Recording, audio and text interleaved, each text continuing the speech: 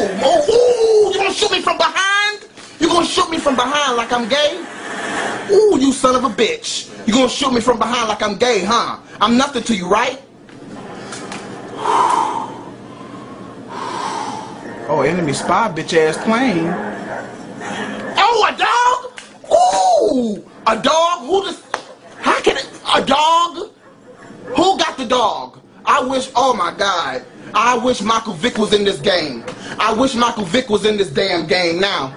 You gonna stick a dog? Dog? He coming back? Ah, bitch! Ah, you gonna kill me again? What? You gonna kill me again? You better call PETA today. I'm shooting a dog in the face. Oh, three times? Ooh, I gonna call Scooby Doo. That's your ass. I'm gonna kill you, Scooby Doo. All right, bitch. All right, bitch. Ooh, you guys.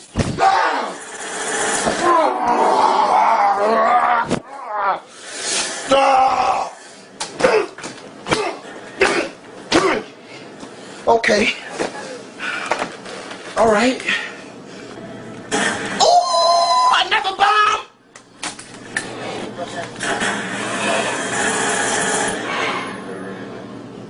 Enemy sentry gun inbound. I'm killing somebody today. What the hell? It's over? It's that's it. That's the game in two minutes. I'm taking this game back to Walmart. I'm taking this game back to Walmart. Two minutes, the match is over.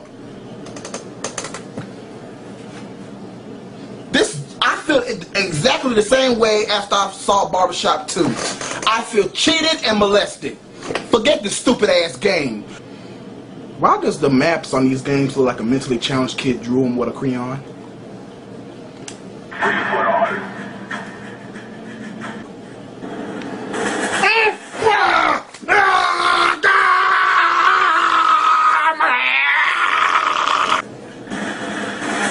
Come on!